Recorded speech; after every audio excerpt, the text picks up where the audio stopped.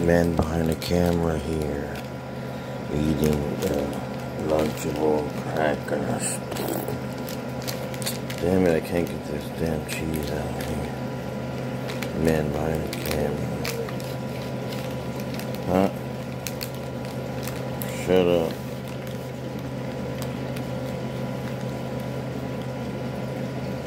Man behind the camera here.